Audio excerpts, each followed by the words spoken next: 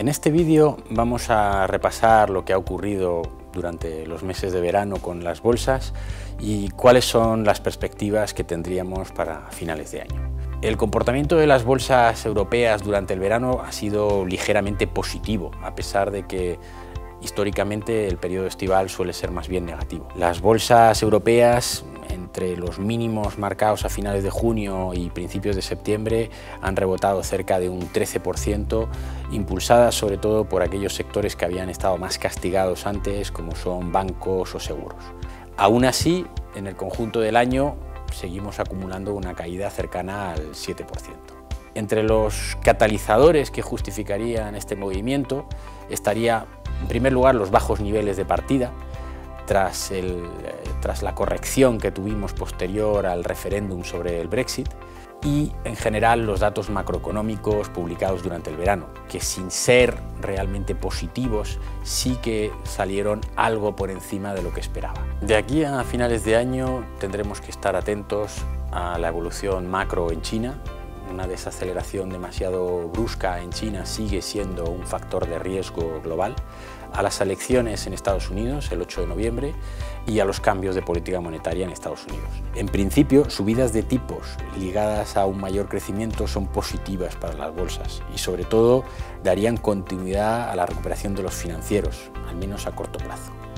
Sin embargo, también es verdad que si la situación económica no es lo suficientemente sólida podría ser contraproducente.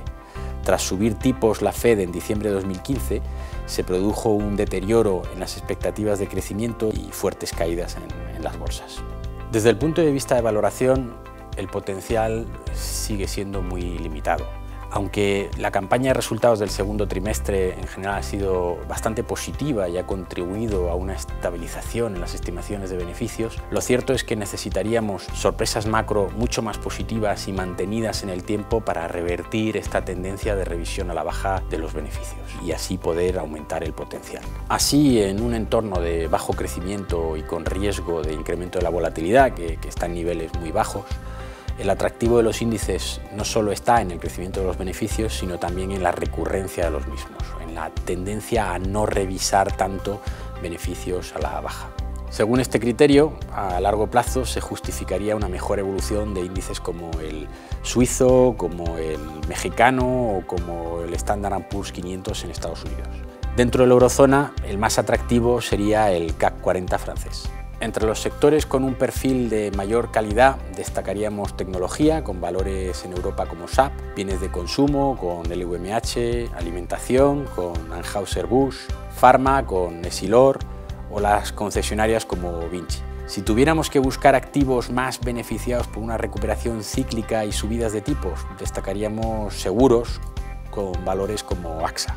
En España es más difícil hacer este tipo de distinción por sectores y los valores de calidad cotizan a niveles de evaluación exigentes. Aún así, son interesantes valores como Inditex, Iberdrola, Celnex, Catalana Occidente, Avertis o las Socimis en general, donde destacaríamos Merlin. En España también convendría prestar atención a otros nombres excesivamente castigados, más expuestos al ciclo y con potencial de recuperación como IAG, ACS, Telefónica o Repsol. Gracias por su atención. En nuestro próximo vídeo ya repasaremos lo que son las perspectivas para el inicio del año que viene.